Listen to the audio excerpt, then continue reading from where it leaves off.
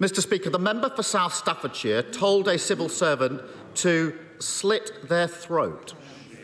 How does the Prime Minister think the victim of that bullying felt when he expressed great sadness at his resignation?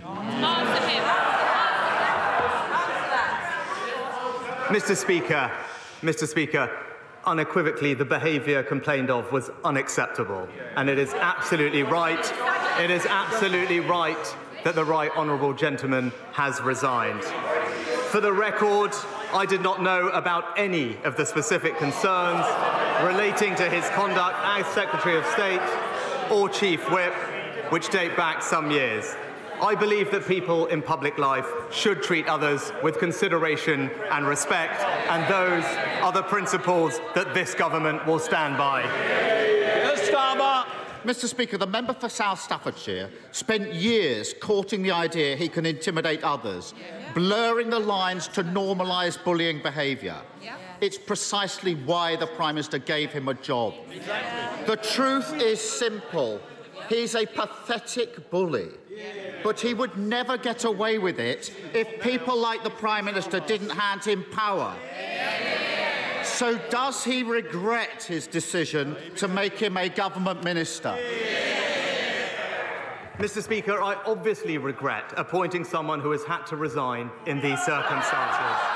But I think but I think what the British people would like to know is that when situations like this arise, that they will be dealt with properly. And that's why and that's why it is absolutely right that he resigned, and it's why it is absolutely right that there is an investigation to look into these matters properly.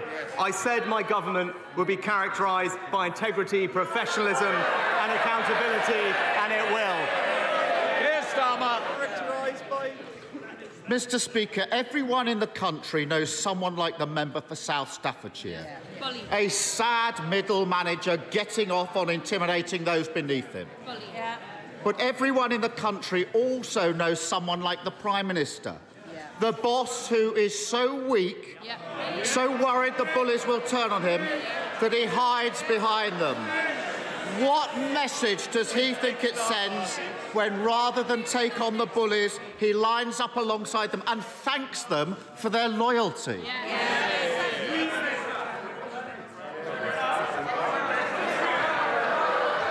Mr Speaker, the message that I clearly want to send is that integrity in public life matters. And that is why that is why it is right that the Right Honourable Member has resigned. It is why it is right that there is a rigorous process to examine these issues.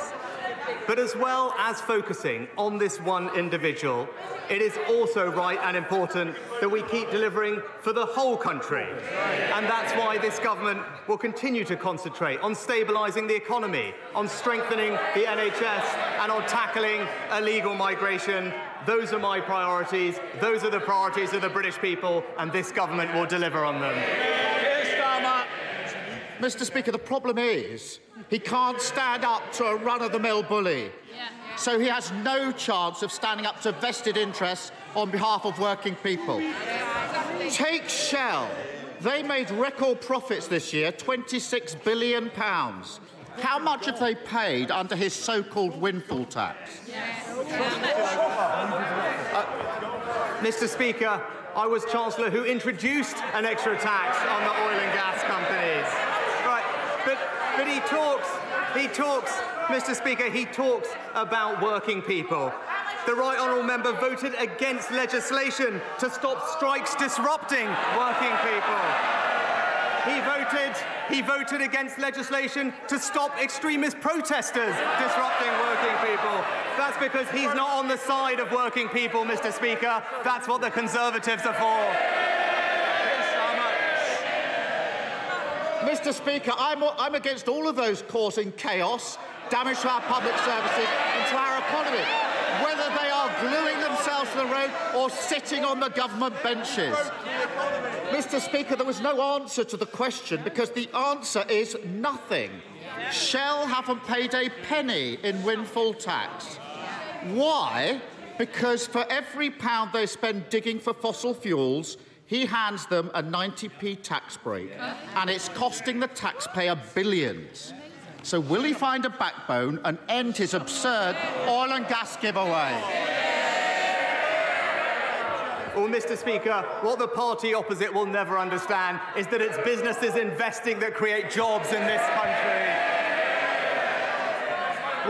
Mr. Speaker, we on this side of the House, we understand that. We will support businesses to invest, to create jobs, because that's how we create prosperity, that's how we support strong public services, and that's what you get with a Conservative government.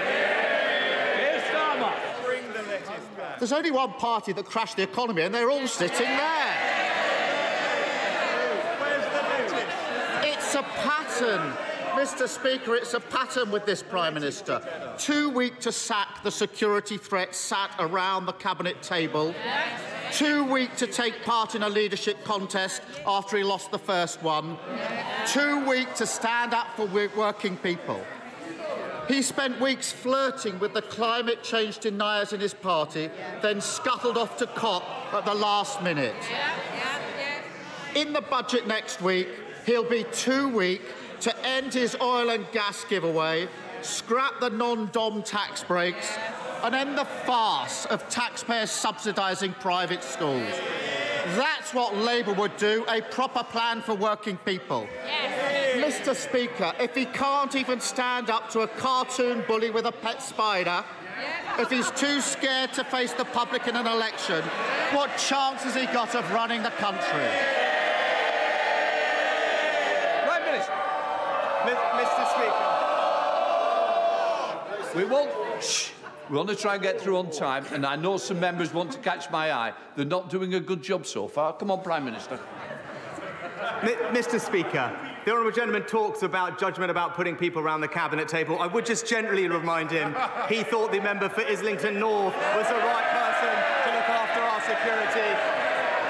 But, Mr. Speaker, the, the honourable gentleman, the honourable gentleman, he's he said a lot today. He said a lot today, but it's clear that he isn't focused on the serious issues that are confronting our country. We're strengthening our economy. He's backing the strikers.